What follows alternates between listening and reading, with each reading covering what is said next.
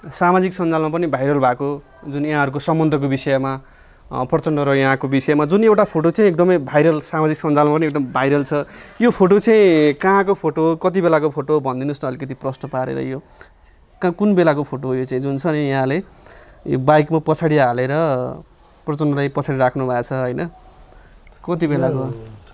सिक्लेसबाट बाबुरामजी र अध्यक्ष प्रचण्ड डोटीको बिपी नगरमा त्यहाँ प्रशिक्षण थियो। र त्यहाँ पुगेपछि हामी तल झरेको थियौँ मेरो घरमा अतरिया। र उहाँ अब लामो समय अडतिस सालदेखि मेरो घरतिर जाने मामा मेरो मामालाई भेट्न भनेर तल जानुभएको थियो तल्लो घरमा मामा घरमा। हामी दुइटै त्यतिखेर अनि मैले चाहिँ उहाँलाई घरतिर ल्याउँदैछु मेरो घरतिर मामा घरबाट कति सालको कुरा हो यो चाहिँ खासमा? यो चाहिँ हाम्रो त्रिसठी सालको कुरो हो। हजुर। अनि हेलमेट पनि लगाउनु भएको छैन होइन त्यो तल्लो घरबाट मल्लो घर भएको हुनाले हेलमेट नलगा हजुर, भनेको तपाईँहरू सँगै बस्नुहुन्थ्यो त्यति बेला?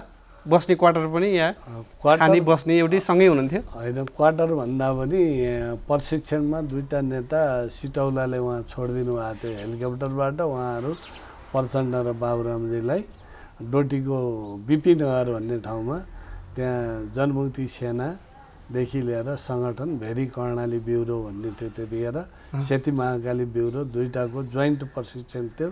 त्यहाँ दस पन्ध्र हजारको उपस्थिति थियो। त्यहाँको सेती महाकाली ब्युरोको इन्चार्जको हैसियतले मैले चाहिँ त्यहाँ सबै व्यवस्थापन मैले गरेको थिएँ। र त्यो प्रशिक्षण सिद्धिसकेपछि नेताहरू सबै तल झऱ्यौँ कैलालीमा त्यहाँ बिपी नगरबाट। अनि त्यतिखेर अब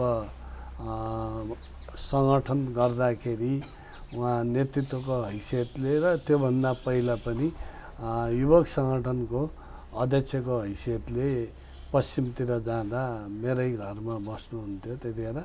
कहिलेकाहीँ मामा पनि त्यतिखेर हामीलाई सहयोग गर्ने आन्दोलनमा निकै त्यो परिवारले गरेको। र अध्यक्षले त्यतिखेर प्रचण्डले ल मामालाई भेटेर आउनु त हिँड्नुहोस् भन्यो। अब त्यहाँबाट अलिकति तल हाम्रो पाँच मिनट जति मामा चाहिँ यहाँको मामा? मेरो मामा। मामाको नाम चाहिँ? दिनराज ओझा अनि म लिएर उहाँलाई गएँ। त्यहाँ फर्किँदा यो फोटो चाहिँ कसैले खिचेछ। भनेपछि उहाँ मामा पनि पार्टीमै हुनुहुन्थ्यो? मामा त पार्टीमै अब पुरै सहयोग गरेको त्यो मामाको परिवार हो। त्यति बेला प्रचण्ड कस्तो हुनुहुन्थ्यो? प्रचण्डको स्वभाव कस्तो हुनुहुन्थ्यो त्यति बेला? प्रचण्डको स्वभाव ठिकै थियो त्यस्तो के थियो र? अहिले पनि ठिकै होला अब अहिले उहाँलाई उहाँका अभिव्यक्तिहरू अलि आफ्नो जुन हाइट हो त्यो हाइट अनुसारको संस्कार जस्तो हुनुपर्ने हो त्यो अभिव्यक्तिहरू त्यति राम्रा गतिलाई देख्दिनँ त्यही हो। यहाँको स्वभाव हजुर हजुर। त्यो त सबैले देखेछ है उम्. बुझेछ यहाँको स्वभाव चाहिँ कस्तो थियो त्यति बेला जुन एउटा धेरै वर्ष अगाडिको फोटो होइन? अब मेरो स्वभाव जे अहिले छ त्यही थियो। सुरुदेखि। म गलत चिजलाई गलत सहीलाई सही भन्ने त्यो नै हो मेरो। यो बाइक चाहिँ तपाईँको आफ्नै थियो? आफ्नै बाइक हो होइन? अब हामीसँग बाइक जिप गाडी सबै घोडा सबै थिए। त्यो केही समस्या थिएन हामीलाई। सबै छोडेर पार्टीमा लाग्नु हो सबै पार्टीलाई बुझाउनु हो पार्टीमै खर्च गरियो जीवन नै खर्च गरेपछि बाउले कमाइदिए सम्पत्ति खर्च हुने त स्वाभाविकै हो। यहाँलाई पनि फेसबुकतिर या नेताहरू कार्यकर्ताहरूले भेट्याउँदाखेरि पनि भन्नुहुन्छ होला। कस्तो लाग्छ यहाँलाई चाहिँ कार्यकर्ता नेताहरूले यो फोटो देखाउँदाखेरि यो फोटो पुरानो दिनहरू सम्झाउँदाखेरि यहाँलाई चाहिँ कस्तो लाग्छ? जस्तै अहिले मैले सम्झाएँ यहाँलाई होइन? कस्तो फिल हुन्छ कस्तो लाग्छ? अब हिजोको सम्बन्ध र आजको सम्बन्धमा केही अब परिस्थितिले अझ नेतृत्वकै आफ्नै कारणले त्यो परिस्थिति सिर्जना भएको हो। मेरो तर्फबाट त्यस्तो केही पनि छैन। म नेतृत्वलाई खुइल्याउने अथवा गाली गलौज गर्ने अमर्यादित कुरा गर्ने त्यो मबाट हुन सक्दैन। त्यो संस्कारबाट म आएको पनि छैन। अब त्यो त हिजो एउटा इतिहास हो भने अब अर्को इतिहास निर्माण गर्नतिर हामी गइरहेछौँ। अब त्यो कति सम्भव हुन्छ हामी सम्भव देखिरहेछौँ त्यो। त्यो भएर अब पहिला के थियो त्यसमा टेकेर अगाडि बढ्ने हो। यहाँ जुन प्रचण्डलाई त पछाडि राख्नु हो। अरू को को नेताहरूलाई बाबुरामलाई पनि बोक्नुभयो कि? मैले प्रायः जसो सबै नेतालाई बोकेको छु।